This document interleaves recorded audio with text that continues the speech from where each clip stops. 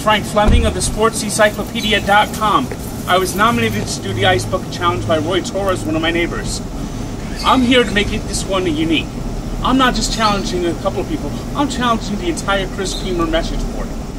What I'm doing here is I'm nominating Chris Creamer, the head of the sportslogos.com, and I'm nominating Braden Leibowitz, who designed my logo. I say that each one of you who does dare does the Ice Bucket Challenge, nominate someone else on the Creamer board and pass it along, and let's create a chain on this until everyone is soaking wet. And I'm also nominating Greg Brown now.